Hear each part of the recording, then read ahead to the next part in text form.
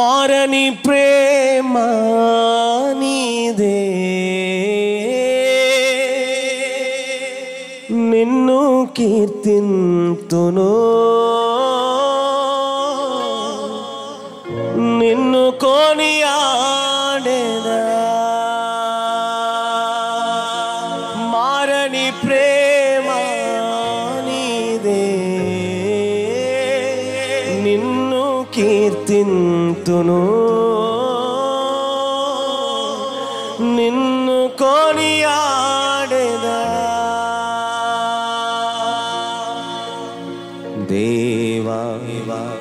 హృదయముతో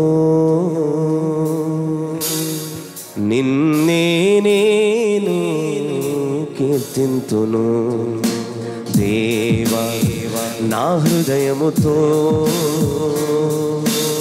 నిన్నే నేను కీర్తింతును. మారని ప్రేమ నీదే.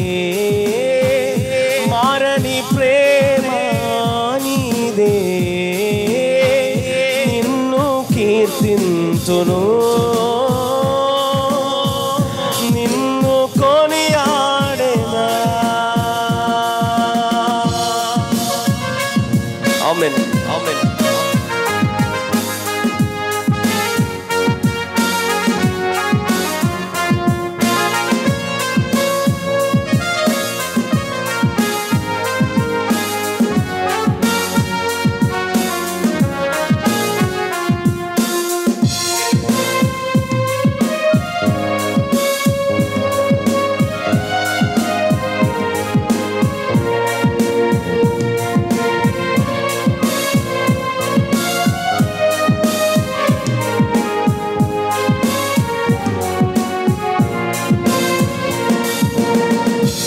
ఓదార్పుకై నేను నీకై వేచి చూస్తున్నా.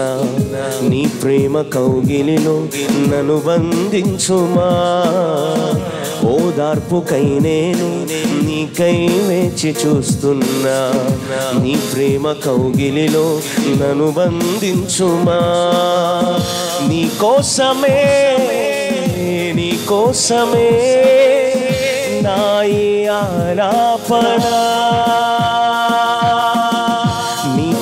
కోసమే నీ కోసమే నాయి ఆరాధన మారని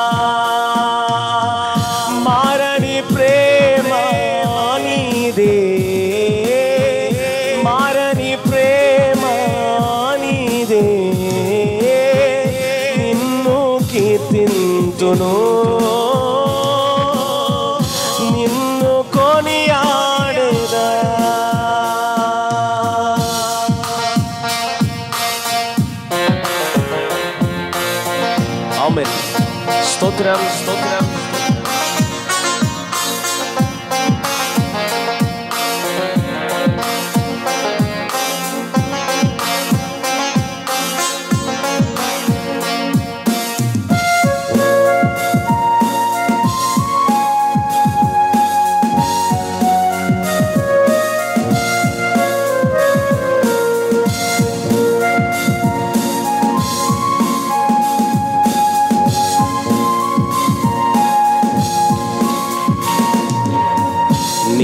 రాకకై నేను ఇలలో వేచి చూస్తున్నా.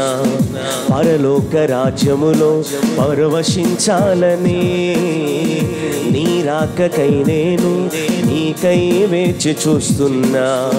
పరలోక రాజ్యములో పరవశించాలని నీ కోసమే నీ కోసమే నాయి నిరీక్షణ.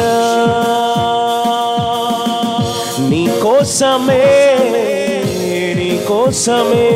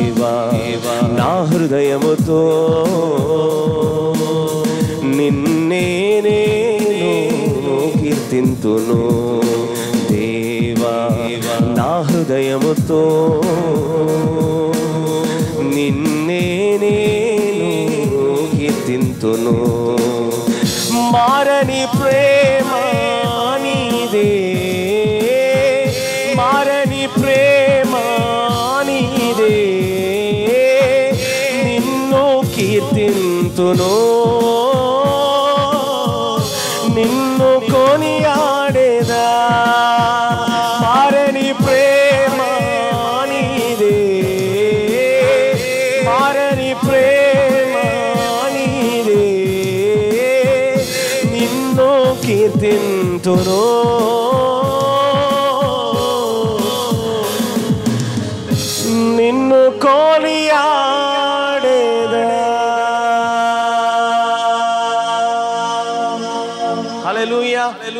పరిశుద్ధ గ్రంథంలో ఈరోజు ఒక సందర్భంలో నుండి ఒక ఐదు క్యారెక్టర్స్ మీతో చెప్పాలని నేను ఇష్టపడుతున్నాను. ఈ సందర్భంలో నుండి అనేకమైన వర్తమానాలు దైవజనుల ద్వారా విన్నారు.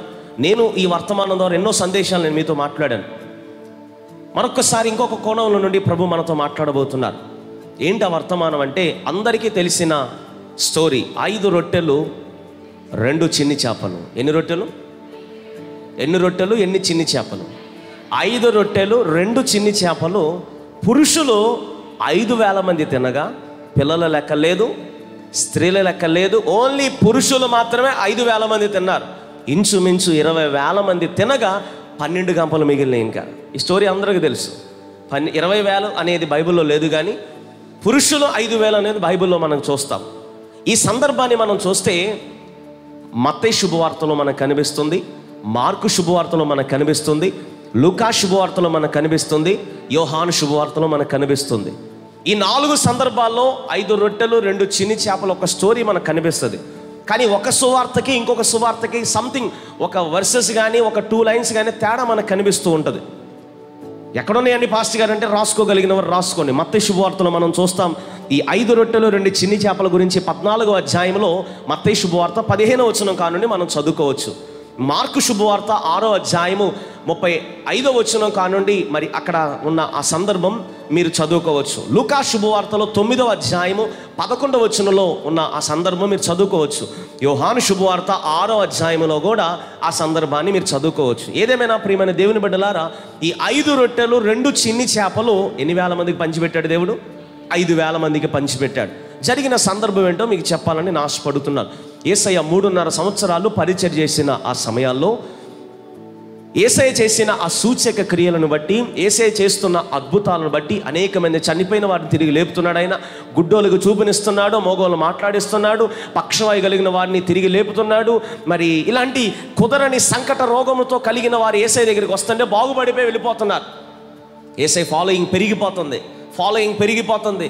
అద్భుతంగా ఏసై వెనకమాల వేలు. ఫస్ట్ స్టార్టింగ్ మరి ఇద్దరితో ఫస్ట్ మరి ఇద్దరితో మొదలైన ఆయన ఆయనను వెంబడిస్తూ మొదలుపెట్టారు ఇద్దరు. పేతురు ఇలాగ ఆయన సహోదరులు కొంతమంది ఏసైని వెంబడించడం మొదలుపెట్టాడు ఇలా ఇద్దరితో పన్నెండు మందితో మరి ఇలా ఐదు వందల మంది తర్వాత వేల మంది ఎక్కడికి ఎక్కడ సభ పెట్టినా ఏసై ఎక్కడ సభ పెట్టినా లక్షల్లో వేలలో అక్కడ సంఖ్య ఉంటుంది. బిజీ బిజీ డైలీ ఏదో ఒక ఎక్కడో చోట వేసే వర్తమానం అందిస్తూనే ఉంటున్నారు. ఇలాంటి సమయంలో ఒకరోజు మూడు రోజులు యాక్జాక్ట్గా ప్రసంగం చెప్తానే ఉన్నారండి ఆయన. ఎన్ని రోజులు? మూడు రోజులు ప్రసంగం చెప్తా ఉన్నారు. పగలో తెలియదంట రాత్రి తెలియదంట ఎలా గడిచిపోయినాయి తెలియదు కానీ మూడు రోజులు ప్రసంగం చెప్తానే ఉన్నాడు ఆయన వింటానే ఉన్నారు. వాళ్ళు ప్రజానీకం వచ్చిన వాళ్ళంతా. ఏసే ప్రసంగం అంతా ముగించి నేటికి మూడు దినాల నుండి వారు ఇక్కడ గడుపుతున్నారు వాళ్ళని ఇక్కడికి ఏదైనా తృప్తిపరిచి నేను పంపించాలని ఆయన అన్నాడు. అక్కడున్న పేతురుని అక్కడున్న మరి కొంతమందిని పిలిచి వీళ్ళు తినటానికి ఒక్కసారి మీ సిటీకి వెళ్ళి ఎంక్వైరీ చేయండి ఏదో ఉంటే వీళ్ళని తృప్తిపరిచి పంపించాలి. అప్పుడు అక్కడ ఫిలిప్ అంటాడు అయ్యా ఇక్కడ ఇద్దరు ముగ్గురు పది మందో ఇరవై మందో కాదు వేల మంది ఉన్నారు ఇక్కడ.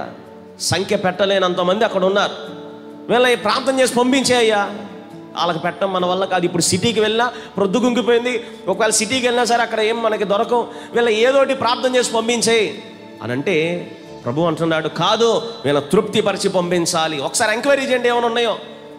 శిష్యులందరూ ఎంక్వైరీ చేయడం మొదలుపెట్టారు. ఎంక్వైరీ చేస్తే అక్కడ ఒక చిన్న పిల్లవాడి దగ్గర ఐదు రొట్టెలు రెండు చిన్ని చేపలు అక్కడ కనిపిస్తున్నాయి.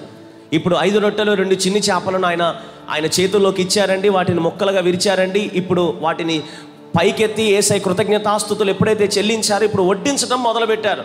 ఇప్పుడు వారు తినగా ఇంకా మిగిలింది పన్నెండు గంపలు మిగిలింది. చప్పలు కొడుతూ ఈ సందర్భాన్ని బట్టి మరొకసారి చప్పలు కొడుతూ దేవుని మహింపడదాం లూయ పదే పదే ఈ సందర్భాన్ని గురించి చెప్పాలని నేను అనుకుంటున్నా. ఎందుకంటే అందరికీ తెలిసిన సందర్భమే కాబట్టి. ఈరోజు నా సబ్జెక్ట్లోనికి నేను వెళ్ళాలని ఆశపడుతున్నాను. ఈ సబ్జెక్ట్లో మనకి నాలుగు విషయాలు మనకు కనబడతాయి. నాలుగు పాయింట్స్ ముగ్గురు వ్యక్తులను గురించి ముగ్గురు మూడు క్యారెక్టర్స్ గురించి మరి నాలుగు రకమైన క్యారెక్టర్స్ మరి ఈ సందర్భంలో ఉన్నాయి. అక్కడ అద్భుతం జరగటానికి గల కారణం నాలుగు రకాల క్యారెక్టర్స్ అక్కడ ఉన్నారు. నాలుగు రకాల క్యారెక్టర్స్ అక్కడ ఉన్నాయి. కాబట్టి నా ఏసై అద్భుతం చేశారు అక్కడ. ఏంటి ఆ నాలుగు క్యారెక్టర్స్? ఫస్ట్ క్యారెక్టర్ ఎవరంటే ఒక చిన్న పిల్లవాడు. చెప్పండి ఎవరన్నా? చిన్న పిల్లవాడు. సెకండ్ క్యారెక్టర్ ఎవరంటే జన సమూహం అక్కడ ఉన్నారు. చెప్పాలి ఎవరున్నారు అక్కడ? ఇంచుమించు పురుషులే ఐదు వేల మంది స్త్రీల లెక్కలేదు పిల్లల లెక్క లేదు.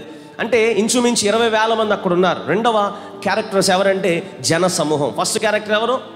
చిన్న పిల్లవాడు. రెండవ క్యారెక్టర్స్ ఎవరు? జన సమూహం మూడవ క్యారెక్టర్స్ ఎవరంటే ఏసయ్య శిష్యులు. ఎవరండి? నాలుగవ క్యారెక్టర్స్ ఎవరంటే ఐదు రొట్టెలు రెండు చిన్ని చేప. మరొకసారి అడుగుతున్నా ఫస్ట్ క్యారెక్టర్స్ ఎవరు? చిన్న పిల్లవాడు. రెండవది జన సమూహం మూడవది ఏసయ్య శిష్యులు. నాలుగవది ఐదు రొట్టెలు రెండు చిన్ని చేపలు. డైరెక్ట్నెస్ వాక్యంలోనికి నేను వెళ్ళిపోవాలని నేను ఇష్టపడుతున్నా. ఫస్ట్ క్యారెక్టర్ ఎవరంటే ఒక చిన్న పిల్లవాడు. ఏమండి అక్కడ అద్భుతం జరగటానికి ఏసై అంటున్నాడు శిష్యులను పిలిచి వెళ్ళండి మీరు. వచ్చిన ప్రజానికం లోపలికి వెళ్ళండి. వెళ్ళి వాళ్ళు ఏమేమి తెచ్చారో ఒక్కసారి ఎంక్వైరీ చేయండి. ఏమండి ఏసై దగ్గరికి వచ్చినప్పుడు మీరు ఆరాధనకు వచ్చినప్పుడు ఒట్టి చేతులతో వచ్చేస్తారా? చెప్పాలి కూర్చున్న వాళ్ళు ఒట్టి చేతులతో వచ్చేస్తారా? ఏదో ఒకటి తెస్తారు. మీ పిల్లల కోసమో పాస్టర్ గారికి ఇవ్వటం కోసమో మరి పాస్టర్ గారు మరి మనవాళ్ళకి మాకు ఇవ్వటం కోసమో తెస్తా ఉండేవాళ్ళు. నా చిన్నప్పుడు చాలామంది చాక్లెట్స్ తెస్తా ఉండేవాళ్ళు పళ్ళు తెస్తా ఉండేవాళ్ళు. ఏ సీజనల్ ఫ్రూట్స్ వచ్చినాయి అనుకోండి ఆ ఫస్ట్ ఫ్రూట్ దేవునికి ఇస్తూ ఉండేవాళ్ళు. పంట పొలాల్లో ఏదైనా వస్తే ఫస్ట్ దేవునికి మొదటి అర్పణ మరి దేవునికి ఇస్తూ ఉండేవాళ్ళు. ఏదో ఒకటి సంథింగ్ ఏ దగ్గరకు వచ్చినా ఎవరైనా సరే ఏం చేస్తూ ఉంటారు? సంథింగ్ ఏదో ఒకటి తెస్తూ ఉంటారు. ఏదైనా బయట అవుట్డోర్ క్రూసైడ్ సభలకు వెళ్ళారనుకోండి అక్కడ బయట ఏం చేస్తారు? క్రూసైడ్ సభల బయట ఎంట్రన్స్లు అమ్ముతారు. ఏంటి అయ్యి? చిప్స్ ప్యాకెట్లు. ప్రార్థనలకు వెళ్ళే వాళ్ళకి ఇవన్నీ ఎందుకండి? ఏంటి? బజ్జీలు చిప్స్ ప్యాకెట్లు ఏ పిడత కింద పప్పు ఏ కొన్ని కొన్ని ఉంటాయి కదా ఎందుకు ఇవన్నీ అంటే ఖాళీగా వెళ్ళి కూర్చున్నాకంటే ఇది తింటా పాటలు వినొచ్చు ఇది తింటా. ఎప్పుడైనా చూశారు ఇవన్నీ నా చిన్నప్పుడు అండి బాబు ఇవన్నీ మరి ఇప్పుడు అంత సెల్ ఫోన్లు వచ్చేసినాయి అన్నీ. సెల్ ఫోన్లు అంతా సెల్ ఫోన్లే. ప్రియమైన దేవుని బిడ్డలారా ఆ అద్భుతం ఏసయ్య ఉన్నాడని విని జనసమూహం అంతా వెళ్ళిపోయారు ఆయన వాక్యాన్ని వినటానికి. వాక్యం అంతా అయిపోయింది. ఏసై అన్నాడు మీరు వెళ్ళండి శిష్యులను పిలిచి మీరు వెళ్ళండి. వచ్చిన జన సమూహంలో ఎవరైనా ఏమైనా తెచ్చానో ఒక్కసారి ఎంక్వైరీ చేయండి అన్నాడు. వచ్చిన వాళ్ళంతా ఏం చేస్తున్నారు? సరే లోపల పెట్టరు రే లోపల పెట్టి. లోపల పెట్టి. ఎవరికాలు లోపల పెట్టేసుకున్నారు. కానీ వచ్చిన నా చిన్న పిల్లవాడు మాత్రం ఏం చేస్తాడు తెలుసు? అయ్యా నా దగ్గర ఐదు రొట్టెలు రెండు చేపలు ఉన్నాయి. ఇదిగో. ఏమంటున్నాడు? ఏమంటే అక్కడ ఐదు వేల మంది పురుషులు ఉన్నారంటే స్త్రీల లెక్క దానికి అధికం ఉంటారు. పిల్లల లెక్క ఒక ఒక వన్ పర్సెంట్ అక్కడ ఉంటారు. ఇంచుమించు పదిహేను నుండి ఇరవై వేల మంది ప్రజానికం అక్కడ ఉంటే ఒక్క పిల్లవాడేనండి తెచ్చింది. ఇంకెవరు తేలేదా? తెచ్చారు. కానీ ఎవరి కాళ్ళు ఏం చేస్తున్నారు? దాచిపెట్టేసుకో రే మనకి ఎందుకురా ఎవరొకరు ఇంకోటి ఇస్తాడు కదా. మన వెనకోలోడు ఇస్తాడులే. మన ముందోడు ఇస్తాడులే. లేదన్నా చివరోడు ఇస్తాడులే. ఎవరికాళ్ళు వాళ్ళు ఇస్తారులే వీళ్ళు ఇస్తారులే వీళ్ళు ఇస్తారులే అని ఎవరికాళ్ళు ఏం చేస్తున్నారు? లోపల సర్దేశారు బ్యాగుల్లో. మొత్తం అంతా సర్దేశారు. కానీ ఒక చిన్న పిల్లవాడు మాత్రం ఐదు రొట్టెలు రెండు చిన్ని చేపలు మాత్రం అయ్యా నా దగ్గర ఉన్న ఇది కూడా తీసుకోండి. అంటే ఈ పిల్లల్లో మనం నేర్చుకున్న ఫస్ట్ పాఠం ఏంటంటే సాక్రిఫిషియల్ లైఫ్ వాళ్ళు మనకు కనిపిస్తుంది. త్యాగపూరితమైన జీవితం కలిగిన వాడి చిన్నపిల్లాడు ఏమంటే ఒక్కసారి మీతో నేను చెప్తున్నాను తన తల్లి ఆ చిన్నపిల్లవాడితో వచ్చుంటే ఇవ్వనిచ్చేది కాదు. అవునా కదా? ఒకసారి మనం లోతుగా ఆలోచిస్తే ఆ చిన్న పిల్లవాడు ఒక్కడే వచ్చాడు. కాబట్టే పిల్లల్లో దాచుకోవడం ఏమైనా ఉంటుందా? దాచేసుకుంటారా? పెద్దోళ్ళ కంటే పెద్దోళ్ళ కంటే మరి వాళ్ళకి ముందు చూపు ఎక్కువ కదా. కాబట్టి మొత్తం దాచేసుకుంటారు లోపల. పిల్లలకి ఏమైనా దాచుకోవడం ఏమైనా ఉంటుందా? ఏదో నిజం చెప్పాలంటే ఎవరిని అడగాలి? పిల్లల్ని అడగాలి. ఏం దాచుకోరు? మొత్తం ఏదన్నా ఇచ్చేస్తారు అంతే వాళ్ళు. ఇలాంటి పరిస్థితిలో ఆ చిన్న పిల్లవాడు చూడండి నా దగ్గర ఉన్నాయి అంటూ ఐదు రొట్టెలు రెండు చేపలు ఇచ్చేసాడు అంతే. మిగతా వాళ్ళంతా ఏం చేస్తున్నారు? దాచేసుకుంటున్నాడు ఒక మాట ఆ చిన్న పిల్లవాడు ఆ చిన్న పిల్లవాడు తల్లి కూడా వాడితో వచ్చుంటే రే లోపల పెట్టు. ముందు లోపల పెట్టరా అని లాక్కుని లోపల పెట్టి ఇచ్చేసేదేమో. కానీ తల్లి ఆ రోజు వాడితో రాలేదు. ఆ పిల్లవాడు మాత్రమే వచ్చాడు. కాబట్టి స్వేచ్ఛార్పణగా మరి సాక్రిఫిషియల్ నా దగ్గర ఉన్నాయ్యా. తనకు తాను తనకు తెచ్చుకున్నవి తాను తినటానికి తెచ్చుకున్నవి తన కోసం తెచ్చుకున్నవి. ఇప్పుడు ఎవరి కోసం త్యాగం చేశాడు? చెప్పాలి. నా ఏసై కోసం. నాకు అక్కర్లేదు ఇవి. ఇచ్చేసాడండి పిల్లవాడు. కొట్టాలి చప్పట్లు. హలే లోయ హలే లోయ చిన్నప్పటి నుండి ఆ తల్లి ఎలా పెంచిందో. పిల్లవాడు గ్రేట్ కాదు తల్లి గ్రేట్ అంటాను నేను. పిల్లోని భక్తిలో పెంచింది చిన్నప్పటి నుండి. చిన్నప్పటి నుండి పిల్లోడిని ఆ భక్తిలో పెంచబట్టే ఆ పిల్లవాడు ఇచ్చేవాడుగా దేవుడు నిలబెట్టాడు. ప్రియమైన దేవుని బిడ్డలారా చిన్నప్పటి నుండి మన పిల్లలకి ఏం ఏం చెప్పి మనం పెంచుతున్నాం? చిన్నప్పటి నుండి మన పిల్లలకి ఏం పెంచి ఏ- ఏం పెట్టి మనం పెంచుతున్నాం? అరే బుగ్గలు లాగి ఇలా తిట్టరా మీ మాయని? ఇలా చెప్తారు కొంతమంది. ఏం లాగి? బుగ్గలు లాగి తిట్టమని చెప్తారు. అంత మాత్రమే కాదు కొంతమంది పిల్లల గురించి రెండు దెబ్బలు అంటారు. రేపొద్దునాడు పొద్దున్న ఒక ఒక ఫైటర్ అయిపోతాడు. నువ్వు ఇంట్లో ఎవరినో కొట్టిస్తావు రేపు పొద్దున్న రోడ్డు మీద నిలబడి ఫైట్ చేస్తూ ఉంటాడు జాగ్రత్త పిల్లల్ని ఎలా పెంచుతున్నాం మనం? బాలుడు నడవవలసిన త్రోవన వానికి వాడు పెద్దవాడైనప్పుడు దాని నుండి తొలగిపోడు. చిన్నప్పటి నుండే మన పిల్లలు మనం నేర్పిస్తూ ఉండాలండి. ఒకరోజంట ఒక పీత. ఒకరోజు ఒక పీత. ఆ పీత తన పిల్ల ఎలా పడితే అలా నడుస్తుందంట. ఎవరో ఎవరో? పీత తన పిల్ల ఎలా పడితే అలా నడుస్తుంది. ఏంటిది? తిన్నగా నడవట్లా? ఎటు పడతాలో నడుస్తుంది. ఒకసారి డాక్టర్ దగ్గర తీసుకెళ్దామని చెప్పి డాక్టర్ దగ్గర తీసుకెళ్ళారంట ఆ పీతని. ఇప్పుడు ఈ పెద్ద పీత అందంట. అయ్యా నా కూతురు ఎగ్జాంపుల్ చెప్తున్నానండి. నా కూతురు చిన్నగా నడవట్లే? ఎటు పడితే నడుస్తుంది. అంటే అమ్మా మరి సరే చూద్దాం ఈ టాబ్లెట్స్ వాడని చెప్పి ఏదో ఇచ్చాడంట డాక్టర్ గారు. సరే ఇంకా డాక్టర్ దగ్గర నుంచి ఇంకా వెనక్కి వెళ్ళిపోతున్నారు. వెళ్ళిపోతున్న సమయంలో ఇప్పుడు మరలా డాక్టర్ పిలిచాడంట అమ్మ అమ్మ ఒకసారి ఇట్రా. ఏంటమ్మా నీ నడకేంటి అలా ఉంది? ఎలా పీత నడక ఎలా ఉంటుందంటే తిన్నగా నడిచిద్దా? అటు నడిచిద్ది ఇటు నడిచిద్ది ఇటు నడిచిద్ది అటు నడిచిద్ది. ఆ డాక్టర్ అన్నాడంట అమ్మా ముందు నీ నడకను మార్చుకుంటే నీ కూతురు నడక కూడా మార్చుకుంటుంది. నీ పిల్లవాడు నడక కూడా మార్చుకుంటాడు. అంటే బెస్ట్ ఇన్స్టిట్యూషన్ అది ఏది అంటే అది మన ఇల్లేనండి. మన ఇంట్లోనే మన పిల్లలు నేర్చుకుంటారు. ప్రియమైన దేవుని బిడ్డలారా ఆ ఆ రోజు అద్భుతం జరగటానికి ఐదు రొట్టెలు రెండు చిన్ని చేపలు ఐదు వేల మందికి పంచిపెట్టడానికి అక్కడ అద్భుతం జరగటానికి మొదటిగా సహకరించిన వ్యక్తి ఎవరంటే ఈ చిన్న పిల్లవాడు. ఎవరు ఎవరండి? ఈ చిన్న పిల్లవాడు. ఈ వ్యక్తిలో మనం చూస్తున్నాం ఒక సాక్రిఫిషియల్ లైఫ్ ఒక త్యాగపూరితమైన జీవితం. ఈరోజు నీలో ఉందా త్యాగపూరితమైన జీవితం? అద్భుతాలను చూడాలి అంటే ఆశ్చర్య కార్యాలను చూడాలి అంటే నీలో నా ప్రభు చూస్తున్నాడు. ఒక సాక్రిఫిషియల్ లైఫ్ దేవుని కోసం ఏదైనా త్యాగం చేస్తున్నావా? అబ్రహాంకి లేకలాకి ఇచ్చాడు దేవుడు ఒక కుమారుణ్ణి. అతని పేరు ఇస్సాకు. లేకలాకి ఇచ్చాడు అబ్రహాముకి. చక్కగా ఆ చూసుకుంటా ఆ వందేళ్ళ వయసులో అలా ముసలోడిగా మరి తాతయ్య అవ్వాల్సిన వాడు తండ్రిగా మరి చక్కగా అల్లారు ముద్దుగా పెంచుతున్నాడు ఆ పిల్లోడిని. ఇప్పుడు దేవుడు అంటున్నాడు అబ్రహమా ఒకటి అడుగుతా నువ్వు నాకు ఇస్తావా? అయ్యా ఏదైనా ఇస్తానే నీకోసం సరే అయితే రేపొద్దున్న మోరియా కొండల మీద తీసుకొచ్చి నువ్వు అమితంగా ప్రేమిస్తున్నావే? అదేనా ఇస్సాకయ్యా వాడిని తీసుకొచ్చి నాకు బలి ఇవ్వాలి ఇస్తావా? అన్నాడు. నీకన్నా ఎక్కువేంటయ్యా అని అబ్రహాం తీసుకొచ్చాడండి కట్టెల మీద కట్టెలు పేర్చేశాడు ఇస్సాకుని కట్టెల మీద పెట్టేశాడు ఇప్పుడు బలి అర్పించడానికి కత్తి దింపేస్తున్నాడు. ఆగయ అబ్రహమా. భూలోకంలో సకల వంశములు నీ సంతాన మూలంగా ఆశీర్వదిస్తానయ్యా నేను.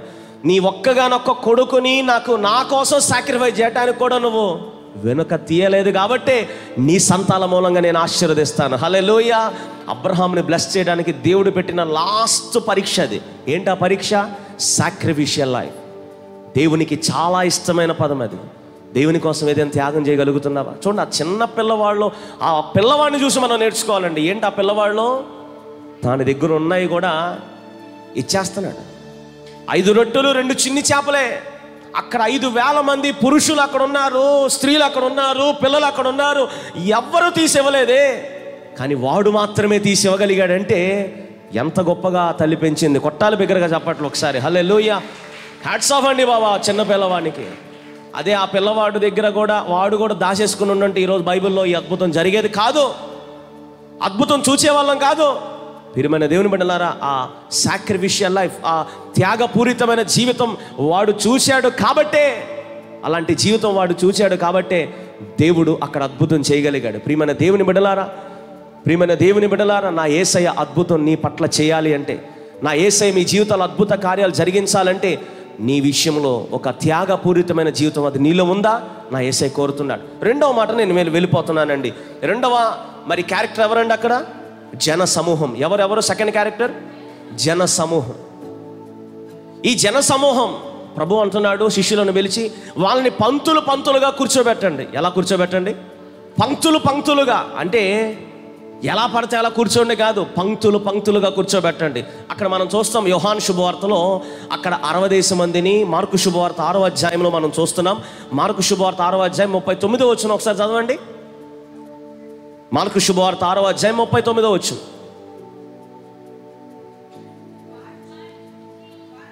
వారు చూచి తెలుసుకొని ఐదు రొట్టెలను రెండు చేపలను ఉన్నవి అనీరు. అప్పుడు ఆయన పచ్చిక మీద అందరూ ఎలా ఎలా కూర్చోమన్నాడు దేవుడు? పచ్చిక మీద అందరూ పంక్తులు పంక్తులుగా కూర్చోబెట్టండి. అంటే అక్కడ క్లారిటీ ఇచ్చాడు చూడండి అక్కడ పంక్తులు పంక్తులుగా అంటే అరవదేశం మందిని నూరేస మందిని యాభదేశం మందిని. అంటే ప్రియమైన దేవుని బిడ్డలారా నా దేవుడు దీనిలోండి నేను చెప్పేది ఏంటంటే క్రమశిక్షణ జీవితం వారిలో ఉంది. ఏముంది వారిలో? పంక్తులు పంక్తులుగా ఒక క్రమశిక్షణ జీవితం. ఈరోజు మందిరానికి వస్తున్న నీకు ఒక క్రమం అనేది మనలో ఉందా? ఒక క్రమశిక్షణ అనేది మనలో ఉందా?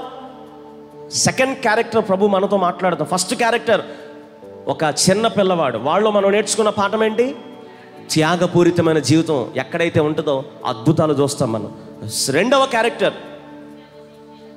జన సమూహం వీరిలో మనం నేర్చుకోవాల్సిన పాఠం ఏంటంటే క్రమశిక్షణ జీవితం. ఏమంటే అక్కడ పంక్తులు పంక్తులుగా కూర్చోబెట్టమని ప్రభు చెప్పాడే? అక్కడ ఒక వంద మంది ఉన్నారా? లేకపోతే ఒక యాభై మంది ఉన్నారా? లేకపోతే ఒక ఒక వెయ్యి మంది ఉన్నారా? పురుషులే ఐదు వేల మంది ఉన్నారంటే పిల్లల లెక్కలేదు స్త్రీల లెక్కలేదు అంటే శిష్యులు ఎంతమంది ఉన్నారు? పన్నెండు మంది శిష్యులు మాత్రం అక్కడ ఉన్నారు. ఈ పన్నెండు మంది శిష్యులు ఇన్ని వేల మందిని కూర్చోబెట్టగలరా చెప్పండి? ఒక్కసారి ఆలోచించారా? ఈ పన్నెండు మంది శిష్యులు వచ్చిన ఇరవై వేల మంది ప్రజానికాన్ని కూర్చోబెట్టగలరా? పెట్టడం చాలా కష్టం. ఏమంటే ఎక్కడైనా ఒక ఒక- ఒక ఐదు వందల మంది లేదా ఒక వెయ్యి మంది భోజనాలు జరిగినాయి అనుకోండి. ప్రార్థన అయిపోయింది ఇప్పుడు భోజనాలకి కూర్చోడానికి సిద్ధపడుతున్నారు. ఇలాంటి పరిస్థితులు ఐదు వందల మందికే భోజనాలు సిద్ధపరిచారు అనుకోండి అక్కడ ఎలా ఉంటుంది? గందరగోళంగా ఉంటుంది అక్కడ. ఎలా ఉంటుంది ఎలా ఉంటుంది? గందరగోళం. అక్కడ ఎలా ఉంటుందంటే గందరగోళంగా ఉంటుంది అక్కడ. కానీ అక్కడ ఉన్న ప్రజానికం ఇరవై వేల మంది. ఇరవై వేల మంది ఉన్నా సరే క్రమశిక్షణ కలిగి కూర్చున్నారు అక్కడ. ఎలా కూర్చున్నారంట? వందేస మంది అదే నూరేస మంది యాభై దేశ మంది ఎనభై దేశ మంది ఇలా క్రమశిక్షణగా పంక్తులు పంక్తులుగా కూర్చున్నారు కాబట్టే దేవుడు వారి జీవితంలో అద్భుతాలు చేశాడు. హలెలూయ హాలెలూయ ఈరోజు భక్తి చేస్తున్న నీలో ఆ క్రమశిక్షణ ఉందా? ప్రార్థన చేస్తున్న నీలో ఆ క్రమశిక్షణ ఉందా? దానియలు మనం చూస్తే ప్రతికూల పరిస్థితుల్లో కూడా ఇట్టి శాసనము సంతకము చేయబడిన దానియలు తెలుసుకుని నన్ను ప్రకారము అంటే తన క్రమాన్ని తప్పలేదండి. తన ప్రార్థనను తప్పలేదండి తన క్రమం మారలేదండి. యథాప్రకారమే ఏం చేస్తూ వచ్చాడు ఈ దానియలు? దేవునికి ముమ్మారు ప్రార్థన చేస్తూ వచ్చాడు. ప్రతికూల పరిస్థితిలో కూడా ఈ దానియలు క్రమశిక్షణ కలిగి భక్తి చేస్తున్నాడు. కాబట్టే దానియలు దేవుడు హెచ్చించాడు. ఎంత హెచ్చించాడు? అటు దర్యావేషు ప్రభుత్వ కాలమందును అటు కోరేషు ప్రభుత్వ కాలమందును దానియలు వర్ధలతానే వచ్చాడు దానియలు వర్ధలతానే వచ్చాడు. ఈరోజు మనల్ని దేవుడు హెచ్చించాలంటే మన జీవితాల్లో అద్భుతాలు చేయాలంటే మన జీవితాల్లో ఒక క్రమశిక్షణ కలిగి మనం ఉండాలి. ఎలా ఉండాలి? ఎలా పడితే అలా భక్తి చేస్తున్నావేమో? ఎలా పడితే అలా ఉంటున్నావేమో? దేవుడు నమ్ముకున్న నీలో ఒక క్రమం ఒక క్రమశిక్షణ అనేది నీలో ఉండాలి. పిరిమని దేవుని బిడ్డలారా అక్కడ ఐదు మరి రొట్టెలను రెండు చిన్ని చేపలను ఐదు వేల మందికి పైగా అక్కడ సమృద్ధిగా వాళ్ళు తిన్నారు అంటే దానికి గల కారణం ఏంటో తెలుసా? క్రమశిక్షణ వారిలో ఉంది. ఏముంది వారిలో? చెప్పాలి. వారిలో ఏముంది? వారిలో క్రమశిక్షణ. ఈరోజు ఈరోజు మనలో కూడా క్రమశిక్షణ కలిగి ఉంటే అద్భుతాలు మన సొంతం అని ప్రభు మాట్లాడుతున్నాడు. అద్భుతాలు చూడాలని ఉందా? చెప్పాలి. ఎంతమంది జీవితాలు అద్భుతాలు పొందాలని ఆశపడుతున్నారు ఈ రాత్రి? ఈరోజు మీ జీవితంలో అద్భుతాలు పొందాలంటే నీలో ఒక సాక్రిఫిషియల్ లైఫ్ ఉండాలి. అంటే నీలో ఒక త్యాగపూరితమైన జీవితం నీలో ఉంటే అద్భుతాలు చేయబోతున్నాడు నా దేవుడి రాత్రి నుండే. రెండవదిగా ఆ జన సమూహము నుండి ప్రభు మనకు నేర్పిస్తున్న పాఠం ఒక క్రమశిక్షణ జీవితం. చెప్పాలి ఏముంది వారిలో? ఈరోజు మన జీవితాల్లో కూడా అలాంటి క్రమశిక్షణ కలిగి భక్తి చేయగలిగితే దేవుడు తప్పకుండా మన బ్రతుకుల్లో కూడా దేవుడు మార్చేయబోతున్నాడు మన లైఫ్స్లో కూడా దేవుడు అద్భుతాలు చేయబోతున్నాడు. Hello hallelujah. మూడో క్యారెక్టర్లోనే వెళ్ళిపోతున్నాడండి మూడో క్యారెక్టర్ ఎవరు వాళ్ళు? చెప్పాలి. ఎవరు వారు? ఏసయ్య శిష్యులు. ఈ ఏసయ్య శిష్యుల్లో మనం నేర్చుకోవాల్సిన పాఠం ఏంటంటే ఈ ఏసయ్య శిష్యుల్లో మనం నేర్చుకోవాల్సిన పాఠం ఏంటంటే ఐదు రొట్టెలు రెండు చిన్ని చేపలను ఏసై చేతిలో పెట్టారండి. జాగ్రత్త వినండి నేను ముగించేస్తున్నా. ఏసై చేతిలో పెట్టగానే ఇప్పుడు ఏసై ఏం చేశాడు తెలుసా? వాటిని ముక్కలుగా విరిచి. ఏం చేశాడు ఆయన? ముక్కలుగా విరిచి ఒక చిన్న గంపలో వేశారు. ఐదు రొట్టెలు రెండు చిన్ని చేపలు. ఎంత ఉంటాయండి అవి ముక్కలుగా విరిసి గంపలు వేస్తే ఎన్ని ఉంటాయి ఒక మూలకు వచ్చేసినాయి ఇలాంటి పరిస్థితిలో ఏసయ్య ఆ ఐదు రొట్టెలు రెండు చిన్ని చేపలను ముక్కలుగా విరిచిన ఆ గంపను శిష్యులకు పిలిచి పంచిపెట్టేయండి రా అక్కడ ఇంకా అద్భుతం జరగల? ఎన్ని ఉన్నాయి అక్కడ? ముక్కలుగా చేస్తే ఇన్ని వచ్చినాయి మొత్తం అందరినీ ఎనభై మందిని నూరేసి మందిని మొత్తాన్ని కూర్చోబెట్టేశారు. ఇక్కడ గంపలో చూస్తే ఇన్నే ఉన్నాయి. ఇప్పుడు ఏసఐ శిష్యులను పిలిచి పంచిపెట్టండి అన్నారు. ఇలా అలాంటి పరిస్థితుల్లో ఒకవేళ మీరు కానీ నేను కానీ ఒకవేళ నేను ఉండుంటే పైనింది కిందదా చూసి ఏంటి ఇన్ని? ఐదు రొట్టెలు రెండు ముక్కలు ఇన్ని? పంచిపెట్టేయాలా? కొడతారయ్యా మమ్మల్ని. నా వల్ల కాదయ్యా. అనేవాడినేమో ఒకవేళ నేను కానీ అక్కడ శిష్యులు అలా చేయలేదు. పట్టుకున్నారండి. ఏసై చెప్పినట్లుగా ఇంకా ప్రారంభించారండి. ఇంకా అలా ఆ గంపలో చేయి పెడతాం. వేసేయడం ఒక్కొక్కరు ఆ గంపలో నుండి ఆ మొక్కలు తీసే కొద్దీ కుప్ప పెరిగిపోతుందంట పది రెట్లు. ఆ గంపలో నుండి ఆ కుప్ప తీసే కొద్దీ పది రెట్లు పెరిగిపోతుందంట అద్భుతం. హలే అంటే మనం వీళ్ళలో మనం చూస్తున్నాం వీళ్ళు ఒక నమ్మకం వీళ్ళలో ఉంది. నా ఏసై ఒక మాట నాకు ఇచ్చాడంటే అది తప్పగా చేస్తాడు. నన్ను ఆయన సిగ్గుపరచనేవాడు ఒక మాట మన ఏసయ్య మనకి ఇచ్చాడు అంటే అది తప్పక మన లైఫ్స్లో జరిగిస్తాడు. శిష్యులలో మనం నేర్చుకోవాల్సిన పాఠం వాళ్ళలో ఉన్న విశ్వాసం వాళ్ళలో ఉన్న ఒక నమ్మకం. ఒకరోజు అంట ఒక పాస్టర్ గారు బైబిల్ కాలేజీలో మరి ట్రైనింగ్ అవుతున్న ఒక వ్యక్తి ఒక స్టూడెంట్ అలాగే ట్రైనింగ్ అయిపోయింది. తర్వాత ఈ పాస్టర్ గారిని ఒకరోజు ఒక సభలకి పిలిచారంట ఈ పెద్ద పాస్టర్ గారిని. ఇప్పుడు ఈ పెద్ద పాస్టర్ గారు ఆ సభల్లోనికి ఆహ్వానించారు. ఇప్పుడు స్టేజ్ ఇవ్వబోతున్నారు. స్థుతి ఆరాధన అయిపోయింది ఇంకా వాక్యానికి స్టేజ్ ఇవ్వబోతున్నారు. ఆ ప్రజలు మరి ఆ మీటింగ్ ఒక కన్వీనర్ను పిలిచి అయ్యా నాతో పాటు వచ్చారే ఈ జూనియర్ పాస్టర్ గారు. మరి ఆయన బైబిల్ ట్రైనింగ్ అయ్యారయ్యా. మరి నాకన్నా ముందు ఒక పావు గంట ఆయన మాట్లాడతాడు. మరి వానికి సమయం ఏమండి? ఆ పావు గంట అయిపోయిన తర్వాత నేను ఆయన వెనకాల మాట్లాడతాను అని చెప్పాడంట ఈ ఈ సీనియర్ పాస్టర్ గారు. సరేనని చెప్పి అప్పుడే కొత్త కదా. అది క్రూసైడ్ సభలో వాక్యం అందించాలంటే వణుకొచ్చేస్తుంది. నేను కూడా మరి పాస్టర్ గారు నన్ను ఫస్ట్ టైం చెప్పే వాక్యం అన్నారు. నువ్వు నిలబడు దేవుడు నీతో మరి మాట్లాడిస్తాడు నువ్వు నిలబడు అన్నారు. సడన్గా అరే నేను రావటం లేట్ అవుతుంది నువ్వు నిలబడి వాక్యం చెప్పే అన్నారు. అలాంటి పరిస్థితుల్లో మైక్ వణిగిపోతూ ఉండేది స్టార్టింగ్లో. నేను వాక్యం చెప్పాడు మైక్ వణిగిపోతూ ఉండేది. ఏం మాట్లాడాలో తెలియదు ప్రిపరేషన్ లేదు. మైక్ వణుకుతూ ఉండేది మాట తడబడతా ఉండేది. నువ్వు నిలబడు దేవుడు నీతో మాట్లాడిస్తూ ఉంటాడు. లాంటి పరిస్థితిలో మరి అక్కడ కూడా జూనియర్ పాస్టర్ గారిని సీనియర్ పాస్టర్ గారు అన్నారు నువ్వు నిలబడరా. ఏదైనా తప్పు వచ్చిందనుకో నువ్వు మాట్లాడేటప్పుడు నేను చిన్న శబ్దం చేస్తాం. నీ వెనకాలే కూర్చుంటా కదా నేను చిన్న శబ్దం చేస్తా. ఆ శబ్దం విని దాన్ని కరెక్ట్ చేసుకో అని చెప్పాడు ఆ పెద్ద పాస్టర్ గారు. కరెక్ట్ చేసుకో అని ఎప్పుడైతే చెప్పాడో ఇప్పుడు నిలబడ్డాడండి జూనియర్ పాస్టర్ గారు నిలబడ్డాడు. ఆ- ఆయన కూడా ఇదే ప్రసంగం మొదలుపెట్టాడు. ఐదు రొట్టెలు రెండు చిన్ని చేపలు నా ఏసై ఐదు వేల మందికి పంచిపెట్టాడు. ఐదు రొట్టెలు రెండు చిన్ని చేపలు ఐదు వేల మందికి పంచిపెట్టడానికి అప్పుడు చేపల సైజు ఎంత ఉండేవి తెలుసా మీకు? గుర్రం అంత సైజు ఉండేవి అని చెప్పాడంట. ఎంత ఎంత ఉండేదంట? నిలబడిన జూనియర్ పాస్టర్ గారు ఐదు రొట్టెలు రెండు చిన్ని చేపలు ఐదు వేల మందికి పంచి పెట్టగలిగారంటే చేపలు చిన్నవి కాదప్పుడు గుర్రవంత సైజు ఉండే చేపలు. అందుకే ఐదు వేల మంది తిన్నారన్నారంట. అప్పుడు వెనకాల జూనియర్ సీనియర్ పాస్టర్ గారు అన్నారు సౌండ్ చేశాడంట. ఏదో మొత్తానికి మైక్లో సౌండ్ చేశాడు ఆయన. వెంటనే ఆ గుర్రవంత సైజు కాదు ఏనుగంత సైజు ఉండేది. హలే లోయ ఏమన్నాడంట ఏమన్నాడంట? ఎప్పుడైతే ఒక ఎప్- ఎప్పుడైతే నువ్వు తప్పు చెప్తావో నేను శబ్దం చేస్తే వెంటనే కరెక్ట్ చేసుకో అన్నాడు సీనియర్ పాస్టర్ గారు. ఇప్పుడు ఈ జూనియర్ పాస్టర్ గారు లేచి ఆ చేపలు ఎంత సైజు ఉంటాయని చెప్పాడు ఆయన. గుర్రం అంత సైజు ఉంటాయని చెప్పాడు. ఎప్పుడైతే ఈయన శబ్దం చేశాడో వెంటనే మార్చేసుకుని కాదు కాదు. అప్పుడు వెంటనే ఆయన అన్నాడంట వాక్యం చెప్పే నీకు ఎంత సైజు ఉంటుందో? నీకే నమ్మకం లేదు కదా? ఇంకేం చూస్తారు అద్భుతం అని ఆ రోజు తిట్టారంట ఆ పాస్టర్ గారు. ఏదేమైనా ప్రియమైన దేవుని బిడ్డలారా మరి దేవుని విషయాల్లో అద్భుతం చూడాలంటే మనలో ఒక విశ్వాసం మనలో ఉండాలి.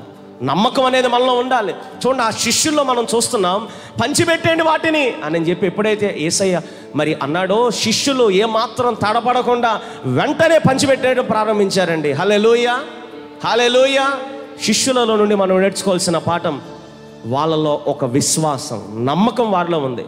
ఈ ఐదు రొట్టెలు రెండు చిన్ని చేపలు అద్భుతం జరగటానికి గల ఫస్ట్ కారణం ఎవరండి? అందరు చెప్పాలి. ఒక చిన్న పిల్లవాడు. వాళ్ళు మనం నేర్చుకున్న పాఠం ఏంటి? సాక్రిఫిషియల్ లైఫ్ ఒక త్యాగపూరితమైన జీవితం వాళ్ళలో ఉంది. రెండవదిగా జన సమూహం అంటే ఒక క్రమశిక్షణ కలిగిన వ్యక్తులు అక్కడ ఉన్నారు. కాబట్టి అద్భుతం చూశారు. మూడవదిగా శిష్యులు విశ్వాసం నమ్మకం కలిగిన వారు అక్కడ ఉన్నారు అందుకే అద్భుతం చూశారు. నాలుగో మాట. ఐదు రొట్టెలు రెండు చిన్ని చేపలు. నేను ముగించేస్తాను.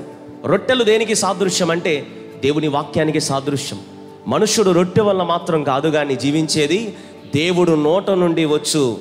ప్రతి మాట ద్వారానే మనుషుడు జీవిస్తాడని ప్రభు మాట్లాడాడు. మత్త శుభవార్త నాలుగో అధ్యాయంలో ప్రియమైన దేవుని బిడ్డలారా రొట్టె దేనికి సాదృశ్యం అంటే దేవుని వాక్యానికి సాదృశ్యం.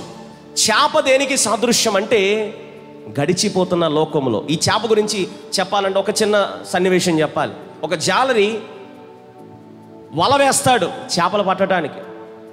వల వేసినప్పుడు ఆ వలలో కొన్ని వేలు చేపలు పడతాయి. వలలో పడిన అన్ని చేపలు బ్రతకో తెలుసా మీకు? వలలో పడిన చేపలన్నీ బతికుంటాయి చెప్పండి. అందరూ చెప్పాలి. ఎప్పుడైతే నీళ్ళ నుండి చేపలు వేరేనాయో వలలోకి వచ్చినాయో వలలో పడిన చేపలన్నీ బతకో. కొన్ని చేపలు చచ్చిపోతాయి కొన్ని చేపలు బతికుంటాయి. ఈరోజు దానిలో నేను మీకు చెప్పేది ఏంటంటే నీళ్ళు దేనికి సాదృశ్యం అంటే గడిచిపోతున్న లోకములో ఎప్పుడైతే ఆ జాలరి ఎవరికి సాదృశ్యం అంటే నా ఏసైకి సాదృశ్యం. ఎప్పుడైతే నిన్న ఆయన పైకి లేపాడో చచ్చిపోయిన చేపలు మనకి సాదృశ్యం. కూర్చున్న మనకి సాదృశ్యం. ఎప్పుడైతే బ్రతికిన చేపలో ఇంకా నువ్వు క్రీస్తులో క్రీస్తును నమ్ముకున్న తర్వాత ఇంకా లోకంలో నువ్వు బ్రతికే ఉన్నావు అనమాట ఎప్పుడైతే నీళ్ళు లోకానికి సాదృశ్యం ఆ లోకము నుండి ఎవరైనా బాప్తిసం ఇస్తే ఎలా ఇస్తారు? ఇలా పొడుకోబెట్టి చెప్పాలి. ఎలా ఇస్తారు? పొడుకోబెట్టి మళ్ళీ ఇలా లేపుతారు మన దైవజన్లు. అంటే ఇలా ఎందుకు పొడుకోబెడతారంటే నీళ్ళు లోకానికి సాదృశ్యం. గడిచిపోతున్న లోకములో మరణించాం క్రీస్తులో మళ్ళీ మనం బ్రతికాం. ఈరోజు చచ్చిపోయిన చేపలు కూర్చున్న మనకి సాదృశ్యం. ఈరోజు మనం లోకములు ఇంకా నువ్వు జీవిస్తున్నావా ఏసే నమ్ముకున్నాం బాప్తిసం పొందావు ఇంకా నువ్వు ఇంకా బ్రతికే ఉన్నావంటే పరలోకం వెళ్ళాలని ప్రభు చెప్తున్నాడు. ఒకవేళ చనిపోయిన చేపగా నువ్వు ఉన్నావు అంటే ఖచ్చితంగా ఏసయ్యలో నువ్వు బ్రతికి ఉన్నావు ఖచ్చితంగా ఆయనను పరలోకాన్ని చేరుస్తాడు. హలెలోయ ఈ రొట్టె దేనికి సాదృశ్యం అంటే బ్రతికిన నీవు క్రీస్తులో బ్రతికిన నీవు అనేక మందికి ఈ సువార్త చాటి చెప్పాలి. అనేక మందిని రక్షణలో నడిపిస్తూ ఉండాలి నువ్వు హలెలోయ ఈ ఐదు రొట్టెలు రెండు చిన్ని చేపలు సమయం అయిపోయింది. నా సందేశాన్ని ముగిస్తున్న ప్రియమైన దేవుని బిడ్డలారా ఈ అద్భుతం జరగటానికి గల నాలుగు క్యారెక్టర్స్ నేను మీలో మీతో చెప్పాను. ఫస్ట్ క్యారెక్టర్ ఒక చిన్న పిల్లవాడు. వాళ్ళు మనం నేర్చుకున్న పాఠం త్యాగపూరితమైన జీవితం. నీలో ఆ త్యాగపూరితమైన జీవితం నీలో ఉంటే అద్భుతాలు దేవుడు నీ ఇంట్లో కూడా చేస్తాడు. హల్లెలూయా. రెండవదిగా అంటే ఒక క్రమశిక్షణ జీవితం. జన సమూహం.